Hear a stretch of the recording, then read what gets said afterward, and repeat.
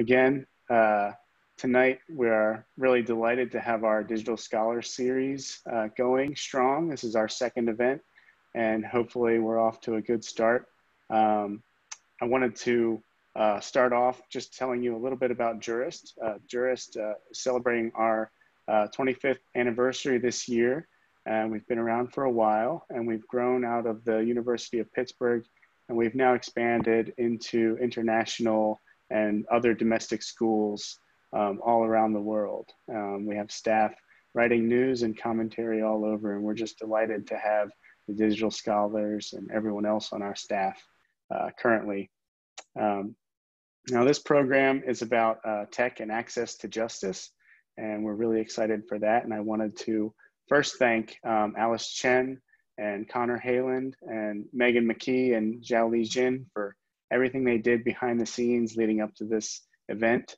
And we're really grateful for all their work and uh, attention and making sure that things, everyone comes together as a community and has a good discourse. Um, I'd also like to welcome our panelists, um, and I'll allow our two panelists to introduce themselves. Um, Eduardo, if you would like to start. Sure. Hello, my name is Eduardo Gonzalez. I am the projects manager at the Self-Represented Litigation Network. Um, I primarily work uh, convening um, leaders in the access to justice space around civil justice projects and um, developing best practices and supporting collaboration. Um, my role as project manager is sort of evolving, but uh, in the mix of activities that we do over the summer, um, we were uh, holding biweekly calls uh, around problems facing the access to justice community. And so a lot of these tech and remote um, transitions really brought up a lot of problems that we were able to talk about and troubleshoot, but um, mostly we, we help people kind of solve their problems when they're in the front lines of this access to justice work. I'm happy to explore more about my background uh, in our conversation. Yeah, we are delighted to have you, Eduardo. Thank you so much. And we look forward to hearing more about your important work there at the uh, Self-Represented Litigation Network. We also have with us Dr. Hoffmann. Uh, Dr. Hoffmann's an assistant professor at the University of Washington. Uh, would you like to introduce yourself, Dr. Hoffmann?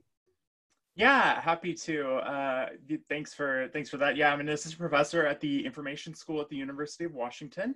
Uh, prior to that, I was a postdoctoral uh, researcher instructor at the School of Information at UC Berkeley. Uh, and uh, I, in general, I, I think about data uh, data science as a practice, uh, as an emerging profession, uh, and uh, and the ethical values we often attach to that. Things we think about like fairness, inclusion,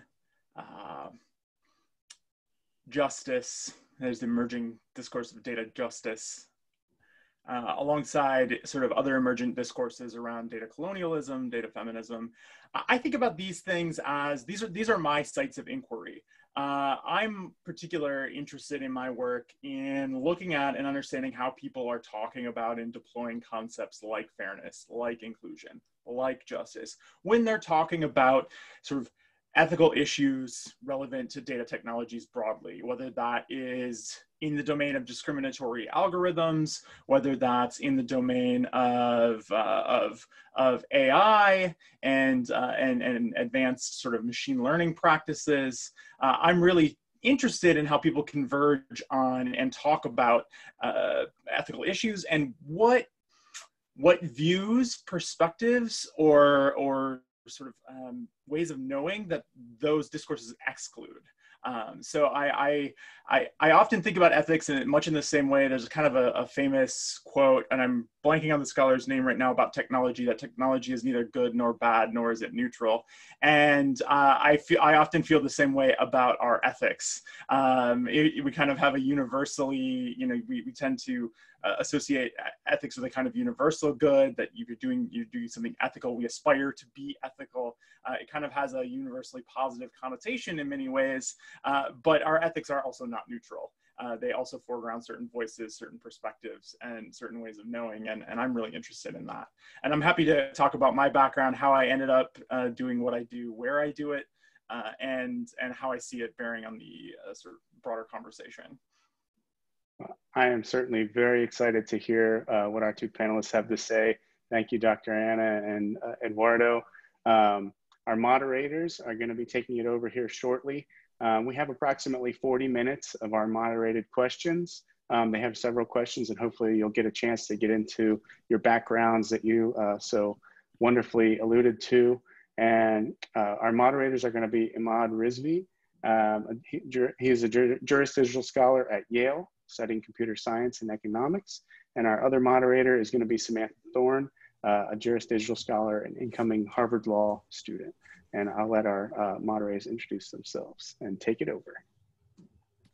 Um, thank you, and thanks for hosting, Michael, and thanks for joining us, everyone, and especially our speakers today. Um, like Michael mentioned, um, I'm Samantha. I'll be starting up at Harvard Law this um, fall remotely, but you know, no complaints. Um, and um, so I guess um, Ahmad, I'll I'll start with the first question. Then, would you like to introduce yourself when you go to ask your next question? Yeah, Perfect. sounds good. Great. Okay, so we know there are myriad areas within law and technology that one can explore and specialize in. Um, what initially drew you to the topic of data and technology, and how can it help or hurt access to justice? Um, Eduardo, why don't you start first? Sure. Um, I think the you know my biggest bite at data and tech initially came out of my um, fellowship project at uh, Georgetown. Georgetown partnered with the Self-Represented Litigation Network, and um, I worked on several projects in the two years I was a fellow.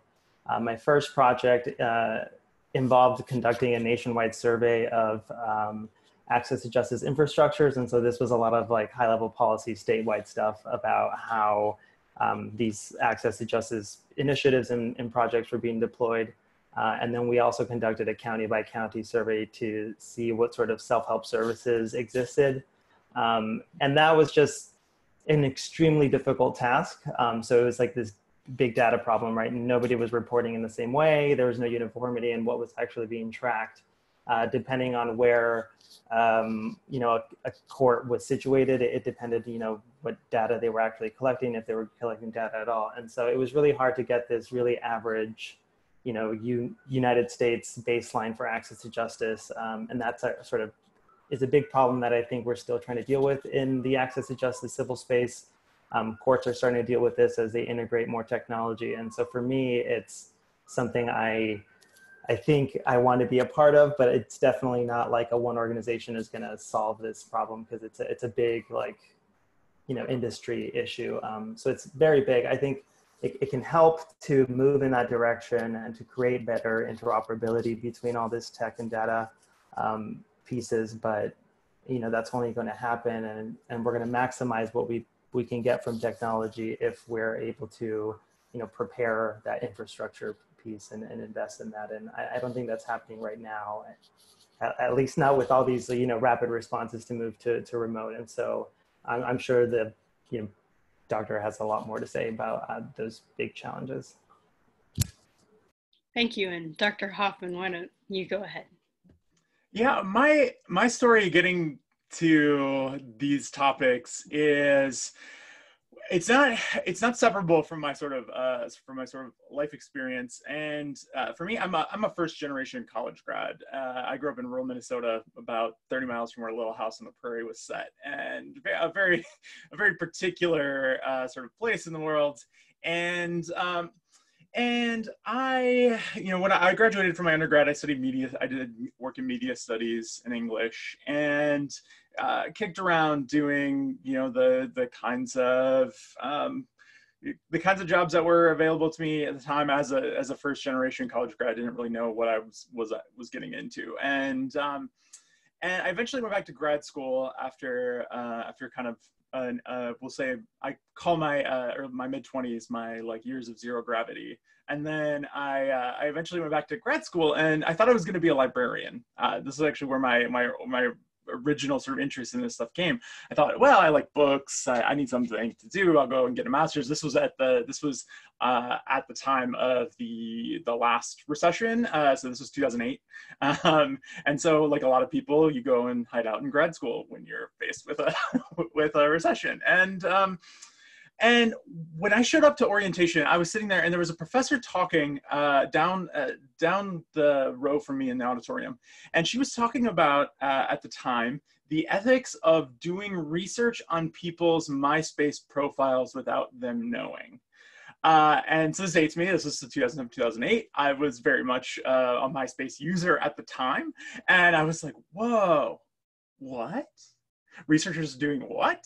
And I ended up getting in a conversation with this professor uh, and ended up getting a job in her lab and decided that I didn't want to do this library thing. I was like, I was in all in on this ethics of new technology stuff. I was like really, really interested. And that's where I eventually sort of, uh, my interest sort of developed into thinking about how, uh, how we talked about different ways uh, of engagement online, how we talked about different sort of possibilities uh, for justice online. I eventually uh, stayed stayed there. Uh, this was at the University of Wisconsin Milwaukee. I stayed through, did my PhD there, PhD there, working with Dr. Michael Zimmer, who's now at Marquette, um, who's a research ethicist.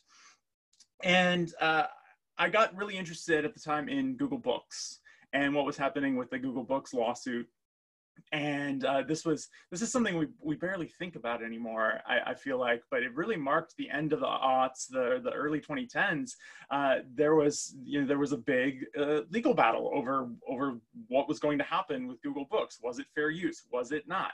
Um, and the, the ramifications that was going to have for uh, content circulation on the web generally. Uh, and i was in particular interested in a claim that that eric schmidt then google ceo had made in, a, in an op-ed in the wall street journal. And he said uh, uh, he said that Google Books brought about a heightened egalitarianism of information. And I thought that was fascinating um, because, you know, I hear this word egalitarianism, as I'm sure many of you do, and you think about these, these sort of broad, uh, noble, oftentimes democratic, liberal norms that we, we aspire to, to sort of realize and uphold. And I, I found myself wondering, well, how come, how does seeing a snippet of a picture of a book at a library like helping me realize a heightened egalitarianism of information.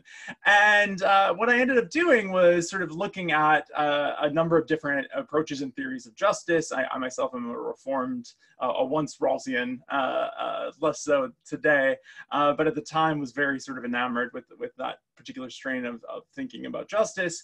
And, you know, realized that if you took a very basic resourcist conception, instrumental conception of, of technology. And, and if you only counted justice as whether, uh, like in terms of bits and bytes, can I technically see more information because Google Book, Books exists? Yes, I can. I can see a snippet of a book at a library at the Bodley, Bodleian Library at Oxford that me as a first generation college student in Minnesota wouldn't wouldn't have been able to see. Right? Like technically on a very limited conception of justice, I would yes, it, it, it is improving access.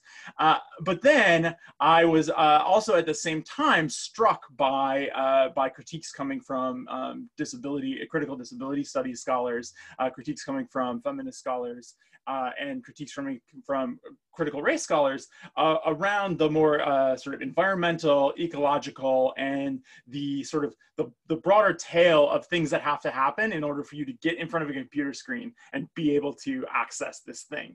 Uh, and, and that was really sort of what sent me on my journey. And then I ended up, um, it was in this dissertation in the early aughts where I, I had some early thoughts about algorithmic discrimination um, because you took the, the, you took these this resource you took entire library collections that you that were accessible via various kind kinds of means and you reduce them to a little white search box that you are then sort of subject to a singular company's uh, articulation of what information access what what search should look like.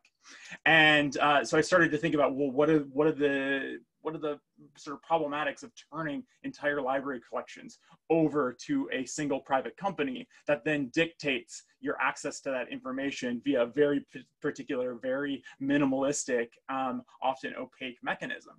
And that was sort of my first foray into thinking about uh, discriminatory algorithms and algorithms of power and control, uh, which I then eventually sort of went on and fleshed out um, during my time at Berkeley. And now, uh, and now I work a lot on uh, this concept that I call data violence, which is thinking about uh, the way that certain reductive uh, views of the world, uh, reductive views of identity, uh, the kind of the, the way we all have to reduce ourselves to particular checkboxes in order to gain access to sites and services, uh, and, and uh, how then that data might be collected and used to inform services, used to uh, target advertising, used to curate your news feeds, how that might sort of create feedback loops into our identities uh, and, and how it might uh, regurgitate sort of violent discursive and symbolic norms, uh, as we've seen in the work of others like Safiya Noble and her book Algorithms of Oppression, uh, where she has done uh, extensive work showing how Google search results for terms like black girls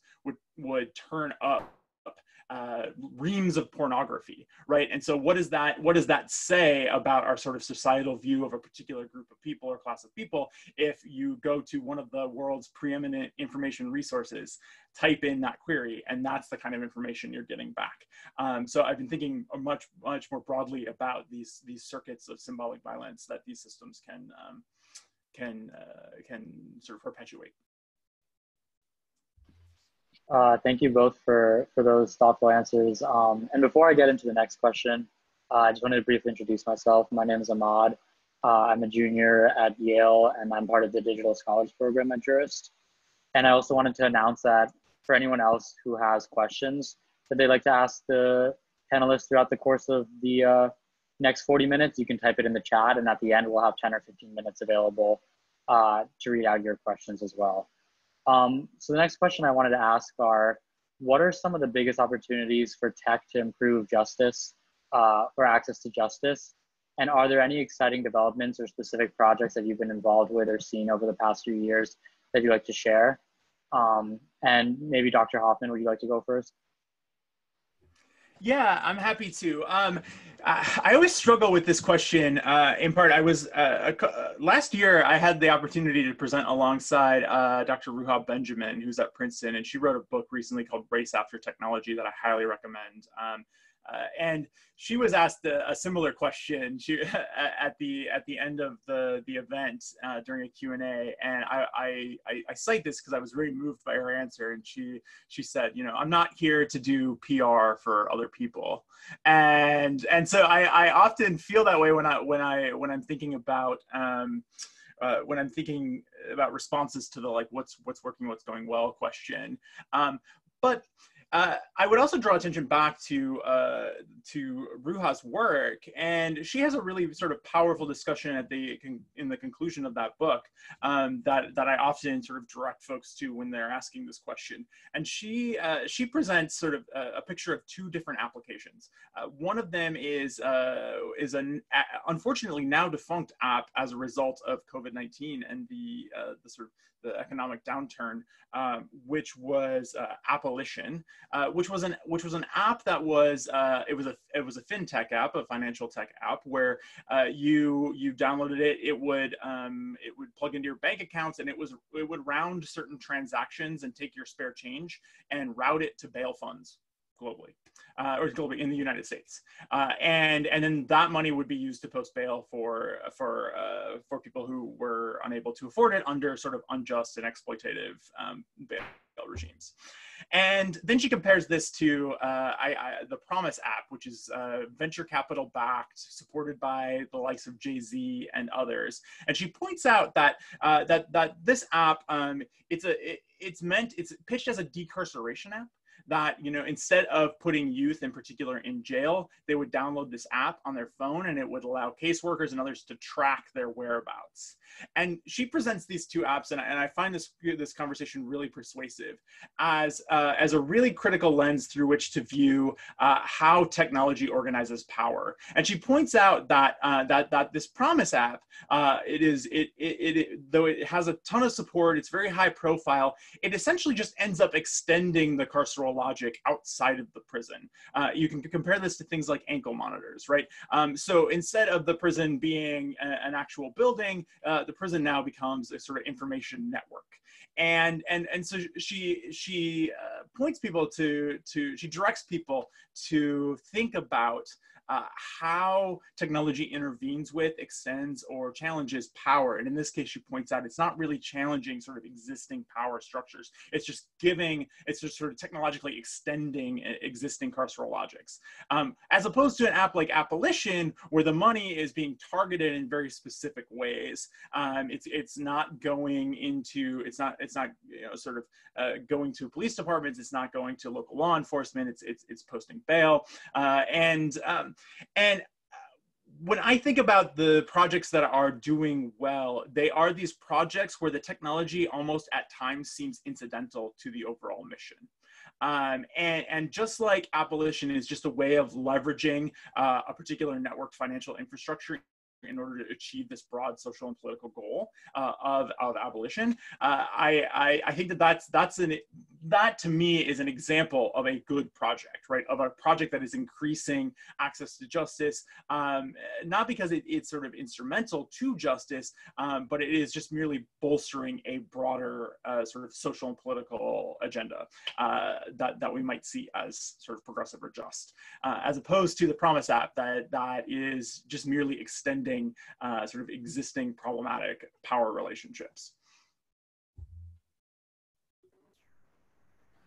Great, I, I, can pick up from there. Um, and those comments, I think, um, I think on the on the broad access to justice, like uh, like big, big scale, are is very are super important. I think from my perspective, um, I come in uh, when I think about access to justice um, at least the work that I've been doing and the, the members that we've engaged uh, at SRLN and through the project work that I've engaged in um, is primarily focused on the ability of somebody to access, um, you know, judicial outcomes that are fair and just uh, in the civil justice space, right? Because in the criminal justice space, it's like a, a whole different system, although many of the same, I, I think, opportunities for tech exist.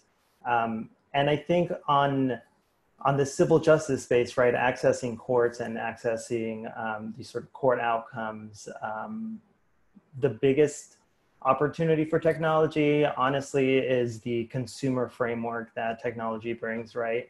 In um, the labs, you know, the, the consumer labs that technology has been developed, there's a lot of user testing, user feedback, refining the interfaces that the consumer has with their, their devices um, you know, especially their healthcare now, right? They, uh, these interfaces are improving so much that the expectation of fairness is going to be that you have easy access to information and records that you need. And unfortunately, I think in the, the civil justice space or in the court systems, it's not uh, the technology you know perspective is not sophisticated enough to have already embodied a lot of that practice of getting user testing you know created to improve a technology service um, and i think this is true of perhaps the legal practice right? And another highly professionalized industries is that technology has been more a tool to create a product um, and it has not been seen itself as the interface that somebody's actually receiving a service uh, and so that that expertise and that capacity isn't something that you know courts are able to hire or legal aid is able to hire and so that is coming from you know the broader ecosystem. And so better partnerships with community partners to have triage and referral are sometimes some of the best ways to get user testing or to get feedback or just to get information in people's hands. And um, the the technology opportunity is that like that entire ecosystem of testing technology and getting feedback and improving it and building it and maintaining it is something that can really improve the way um, justice is iterated, right? And so we look at process simplification and plain language. Um, and those are all mechanisms that I think comes with the idea that we innovate through technology. And so uh, to the point of, of thinking about implicit bias and how data is being used um, to kind of stifle a person's ability to actually obtain a fair outcome uh, I think those conversations need to need to also be embedded um, in the justice area, right? I think integrating the conversation of broader technology access and and removing um, removing algorithmic bias um, is a big part of where this court technology access to justice uh, needs to push in, right? And it can't be a separate market. I think um, justice is becoming way more con consumer centered and customer service oriented. Uh, and that is, I think, the best way that uh, technology can be really deployed. And um, there's like, there are tons of, of projects, really great and interesting projects right now going on that like I would, I, I don't want to miss anything. And so uh, I'll recommend a couple of, you know, networks and people that you can talk to, some podcasts and um, the information streams that I'm sort of consuming. It's, you know, the, the people in the justice tech space are, are very open to connecting and they're very active on social media. And so, you know, they, they really are very accessible. And so it shouldn't be hard to, to service some really great um, projects online.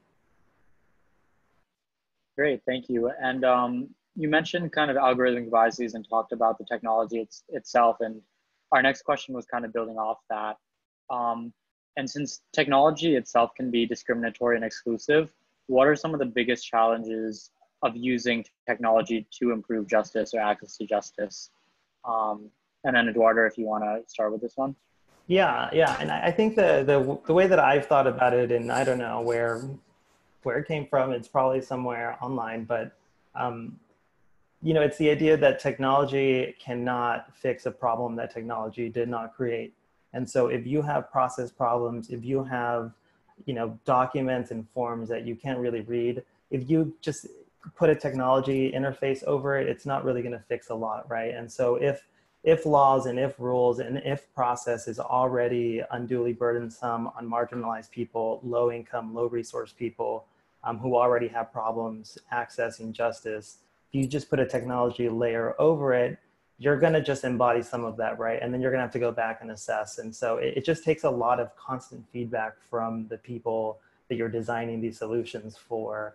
Um, there's a book that I really like um, it's called Innovating. It's by Luis Perez Breva, um, and and you know the the whole concept of innovating is learning more about the problem, um, and you iterate a solution. And so the solution can be very different. So you know you can go in there with an idea of using tech, um, but the more you learn about the impact and the changes that it's causing, maybe the solution is getting rid of a really silly process that you know is kind of an artifact of how we we actually interact now, and so that's more of the solution than the technology itself, right? And that that's a framework I would take to a lot of these opportunities and challenges is that technology isn't going to be the end all solution if you don't really invest on um, getting the infrastructure ready for automation. Um, and that requires a lot of awareness of your, you know, demographic constituents or, or the people that you serve.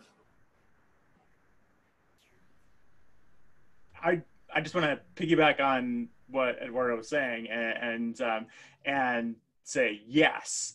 And uh, and and also note that this question of what role does technology play in solving social political or other problems um, there's a there's an there's an added risk on top of what uh, eduardo has already eloquently identified as this as this you know introducing technology to fix a problem that is not fundamentally sort of introduced by the technology.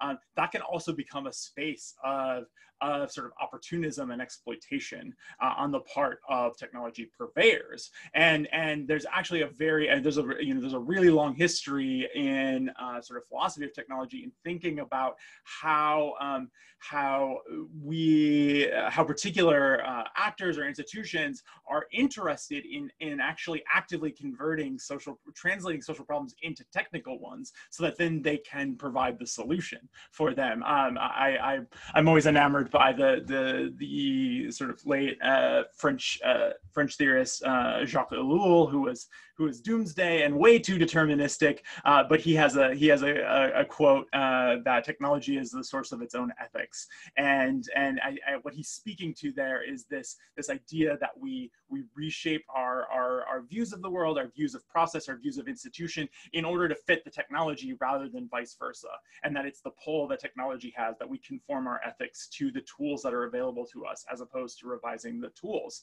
Um, and and I think this is particularly true in the in the sort of emerging domains of uh, sort of fairness research, especially at the technical level, uh, and, and, questions of algorithmic bias. This is something I've done work on. Um, I have a paper called Where Fairness Fails, uh, uh, Data Algorithms and the Limits of uh, Anti-Discrimination Discourse. And actually, this is a place where I think legal scholars uh, have, have a long history of, uh, of writing and research to draw on to contribute in this space. Because I ended up in that paper drawing a lot on early critical, what we would now call critical race theory, but a lot of that early formative critical race theoretic work was was law scholarship.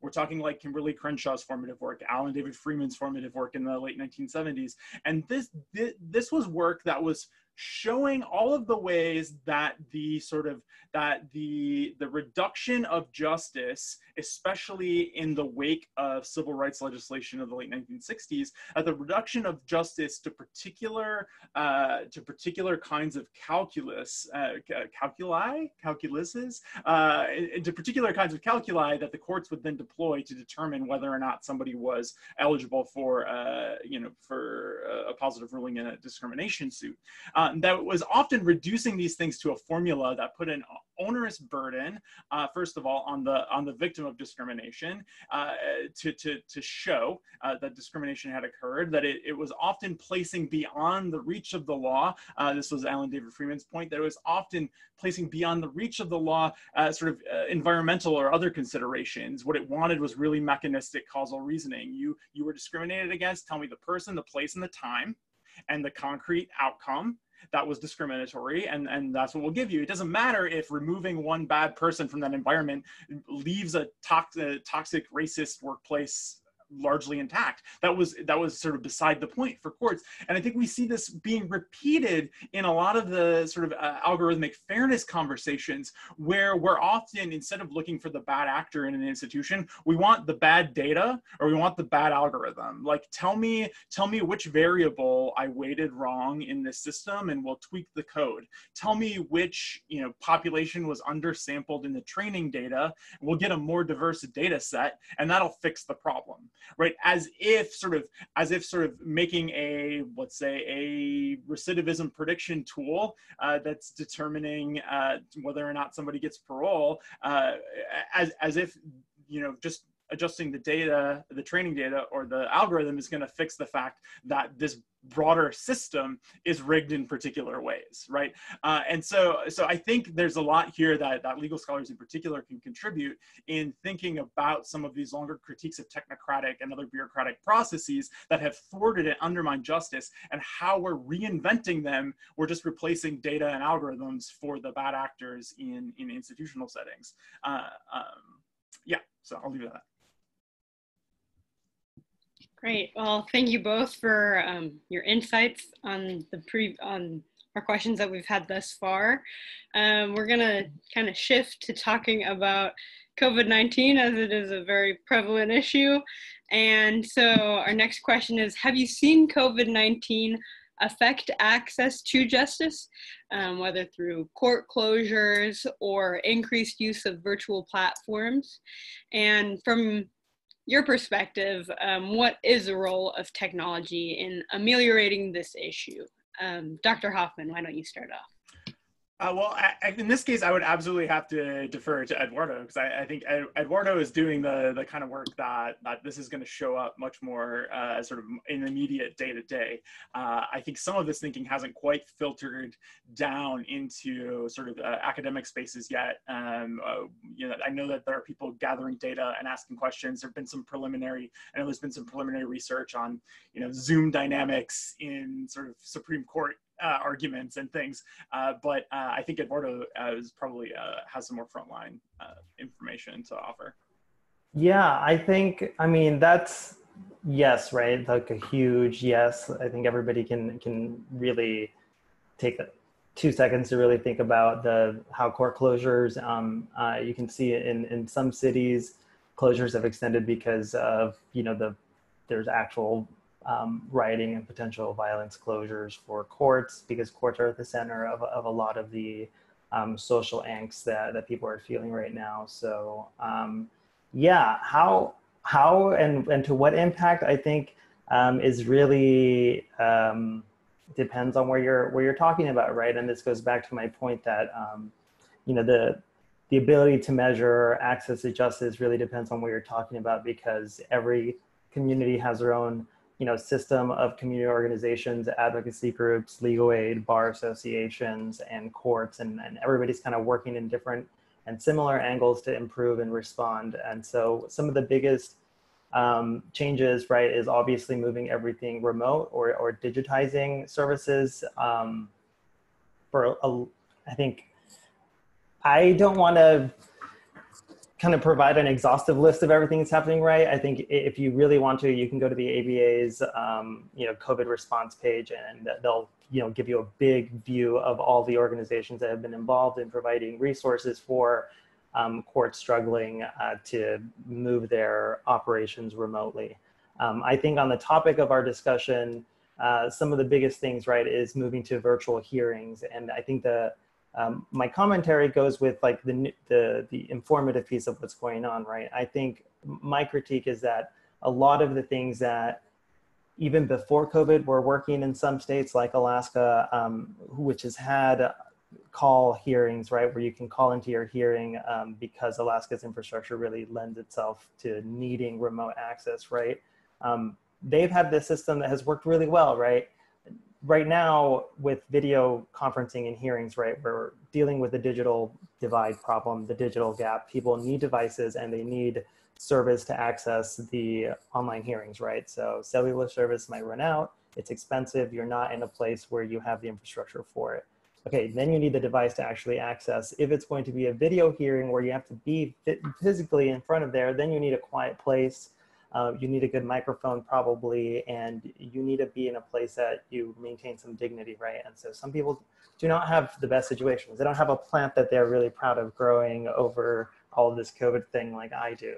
So it's like, those are all these considerations that you have to take when you're going to go to video conferencing because that's what everybody was doing in Zoom, right? So these rapid responses didn't lend themselves to really asking, what do we need? What feedback are we getting? And so none of those feedback channels and loops existed before COVID because uh, by and large, courts don't have the capacity to actually get feedback to improve operations and simplify because there's just way too much to do. Um, and so this problem was exacerbated when you're moving now every operation to remote. So you have, you know, your frontline staff that's actually providing the services that are kind of dealing with the trauma at home on their own their families coming back, maybe they have children, maybe they're you know immunocompromised, whatever, right? There's a huge issues that they're dealing with, and then they're also responsible for putting up remote operations, which is also a whole different challenge without guides, without templates. So there's like you know the response um, that SRLN was ever able to put up was trying to facilitate knowledge sharing, getting these guides out, and, and kind of creating some sort of um, knowledge sharing environment. And I think those sorts of resilient responses are really um, powerful. And I hope that that's kind of what a good takeaway of all these COVID responses is, is that you need to cultivate and, and build these community relationships so that entire communities could respond to crisis, right? I think uh, disaster networks in Florida um, are very good models for that, where people are cross-trained to, to just be able to manage um, triaging for public services. I think the courts and, and local justice systems can do that. And this, whatever courts have done at post COVID, right, there's a whole question of what is going to um, be transitioned to, to full, you know, a full permanent thing, what's going to revert back, how are you going to inform the public? There are a lot of, you know, challenges that are just going to keep coming up, but uh, I think the best way to handle and deal with them, uh, whether they're tech-based or not, is going to be by opening channels of feedback and, and really getting the public to tell you what their problems are and responding to them um, and adjusting your solutions that way. I think technology was adopted very, very quickly. It was effective for a lot of people, but in, in it captured all of these, you know, challenges that, that the doctor has mentioned. And, and that's just even worse now because people are dealing with high levels of inability to pay, uh, way more challenging things than worrying about getting a video phone to get to a hearing because you're probably not going to pay rent anyway. Um, and so you're probably going to get evicted whether or not you have a, a, hearing, right? So I think there are way bigger challenges that people are dealing with. Um, and so just phone calls would be enough, I think, in a lot of places for a lot of these hearings. Like we don't need video for a lot. Yeah, thank you guys. And um, the last question we wanted to ask before we open it up to some of the questions that were submitted is um, you guys have mentioned race after technology innovating and kind of building off that. What are some of the books, resources, or websites you'd recommend to people who are interested in learning more about tech, access to justice, um, more about your work, or just how they can be more involved with these issues? Uh, we can start with Eduardo. Sure. Um, so the networks that I follow are SRLN um, is a network that has um, a, huge array of constituencies that, that share problems and resources. And so we have listservs and then we have working groups that you can join. Um, that is a huge source of, of information. People post their challenges on there a lot. Um, LSNTAP eh, also, and, and, I can share these um, to be emailed out to attendees, but uh, they also have a, a really great and uh, enriching listserv that I also follow. Uh, the National Center for State Courts over COVID has put up these tiny chats and webinars. Um, the NLADA has also put up a lot of you know information, and so uh, the ABA's website has a lot of this aggregated together, and so their resource page really does a lot of bringing together all of the streams that I would recommend following if you're interested in all of these access to justice um, initiatives. On the tech side, I think that's follow the hashtags legal tech, access to justice, tech, any of that. I think you'll quickly see who, who the re recurring commenters are and they have podcasts and they have um, a lot of great information streams that I think um, are really easy to access and they're all really friendly people. So um, I think, you know, get yourself on that social media level. Um, I think that's where a lot of the legal tech folks are connecting. Thank you. Uh, and Dr. Hoffmann? Yeah, so uh, a couple of a couple of things. Um, I again, I, I, I, can't recommend Ruha Benjamin's Race After Technology enough. Um, it is it is a it is a, it's oriented towards a broader audience, so it's not you know it's not specifically towards people who work in sociology or Black studies, where she's located at Princeton. So it's written for a broader audience, but it is it it doesn't sacrifice on sort of depth and insight at the same time. Uh, and so I, I, highly recommend that.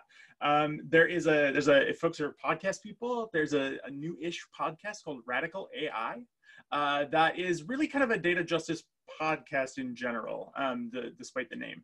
And they they talk to they've talked to a number of people uh, that anyone that they've interviewed, I would say, is is you know um, is, is, somebody worth listening to, um, uh, including the, there's an episode on um, on COVID uh, tracing, uh, contact tracing apps and privacy concerns with Seda Gürses, who works out of um, out of the Netherlands, who is one of my personal sort of uh, academic heroes. Um, and so I would I would highly recommend that. Um, and then uh, there is there's some more recent work that's a little more popular oriented that I think it that I think translates well across domains. Um, there is the, there's the there's a book called Data Feminism that is essentially a it's sort of a data visualization and justice popular text uh, by Lauren Klein and Catherine D'Ignazio uh, that uh, that I think is quite accessible. Um, there is uh, Design Justice by Sasha Costanza-Chock, who's an MIT researcher who's really interested and involved in a number of um, sort of grassroots technology design initiatives, uh, and so uh, she uh, she helps maintain the Design Justice Network. Um, and uh, and then there's a project out of uh, Michigan that I really like that I think is worth following called Our Data Bodies, uh, and this is a project oriented towards sort of working with uh, with affected communities in terms of uh, issues of data sovereignty and data ownership and uh, what it means to sort of build technology and data infrastructures to advocate for uh, for communities to advocate for themselves in various contexts. So the Our Data Bodies project, uh, I also uh, I also highly recommend. Oh, and uh, Virginia Eubanks automating inequality. If you want to know how these things uh, intersect with social, especially the provision of social services, um, Virginia Eubanks' book is is excellent and also oriented towards a broad audience. Uh, she she has a great line uh, about how you know if technology is not is not specifically designed to confront power. It will uh, it will exacerbate. It will only amplify it. Um, and so uh, so I think she does a really good job of of painting the stakes. Uh, uh, the, the, what's at stake when we treat technology as merely instrumental or merely neutral in a given situation. And thank you for these recommendations. I have a long reading list and listening list ahead of me, but thank you for that. Um, so I guess we're gonna open up to our questions.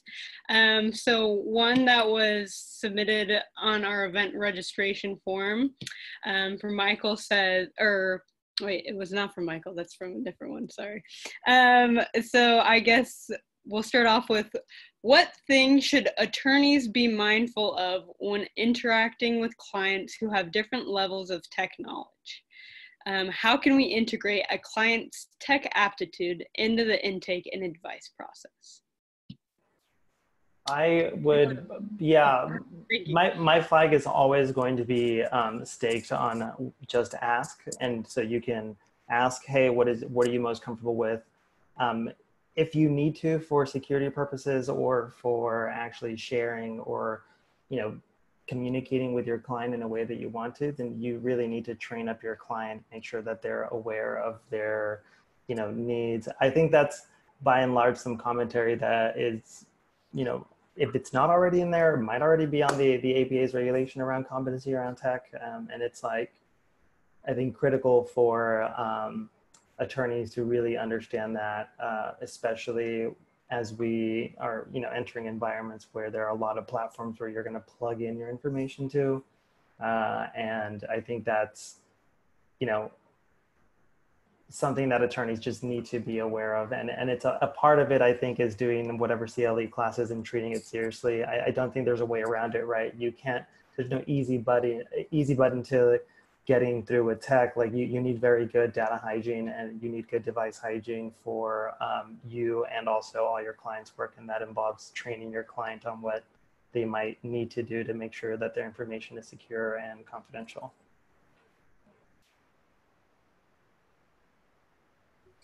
I'll pass on this one.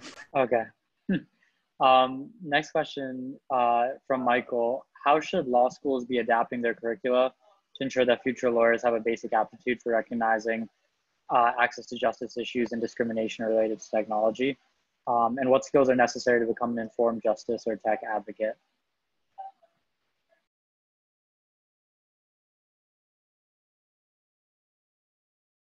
We can start with Dr. Hoffmann, if uh, that's yeah, yeah. I'm I'm pondering. I'm pondering what my my response here is. I am the I am the outsider, uh, right? I did not do. I did not go to. I did not go to law school. Um, I uh, I'm a sort of um, inveterate humanist from, from, from a distance, uh, and uh, I think one I was once described as the the human version of an Atlantic article about why computer science needs the humanities. So that's really like the perspective that uh, that that I'm bringing. Um, but I think you know there one of the things I would encourage folks to avoid there, there there are a couple of things in this space. One is like be very uh, be incredibly cognizant of the of uh, your own access to knowledge being captured by dominant players in this space. We are currently witnessing uh, you know we're, just yesterday we had here antitrust hearings with uh, Zoom talking head CEOs, including Jeff Bezos' first you know appearance before uh, before before Congress on these issues. And um, and one of the things that I think uh, academia in general is is struggling with, uh, research universities in particular, and this count this includes law schools, is that there is a lot of uh, there's there's a, a lot of money and a lot of promise uh, uh, of access. on, on, on the part of, of these companies, often in ways that are not always immediately apparent to, to students that are, aren't, aren't even always immediately apparent to researchers. Um, so that's just something, uh, don't, uh, just be mindful of the ways that your own knowledge uh, might be sort of uh, captured by those interests. Uh, um, and uh, to, to that note, I also think that there is oftentimes a tendency in certain in certain places, and this is not specific to law schools, but it's not it doesn't, doesn't accept law uh, law scholar legal scholars either. Um, is there's a kind of privileging of of technical knowledge that like you, unless you really like know how the algorithm works, you don't really have a, a standing to speak on. Uh, you don't have a, le a, leg to stand on. Uh, and there are some instances where that might be true. Certain kinds of arguments you might be trying to make that that might be true. Um, but I, I also encourage you to resist that sort of reproduction of technical knowledge as as ultimately somehow more true or or, or more real or more powerful. Um, and and you can learn a lot. You can learn a lot from the the voices of, of people who are impacted by technology uh, uh, as well. You know, whether it's folk theories about how algorithms work, whether it's uh, it's real life experiences. Um, and I think it's important to uh, to sort of bring that social and contextual knowledge to bear uh, and, and not sort of over privilege the, the point of view of computer scientists or, um, or, or you know, programmers or people working inside uh, these companies that are providing tools. Um, I, I think the, my answer to this question, I think, is modeled over uh, around the kinds of programs that I've, I've seen and, and the projects that I've seen at law schools. Um, when I was at Georgetown, I worked with Professor uh, Tanina Rostain on the Iron Tech Lawyer competition. Um, and so her program puts together a bunch of you know, law students who take the class into different groups of four to five law students. They, they each have a legal aid organization that they're working on a tech project with. They work with them throughout the entire um, semester doing, you know, training on user design using the Neota Logic um, platform to create these legal tools and then they compete at the end of the year. Um, this last, th this year, um, as part of like kind of ending my fellowship, um, I helped them create an invitational where we invited a lot of different law school programs um, that were similar to this. So these are law schools that were offering curricula um, or, or, a four credit class that involved working with the legal aid organization to, to develop a legal tool. And so we had um, 11 or 12 schools compete. Um, school from Hong Kong, Australia, Canada, and we have several schools in the US who all have varying and different kinds of programs that develop um, these sorts of design and technology skills for law students.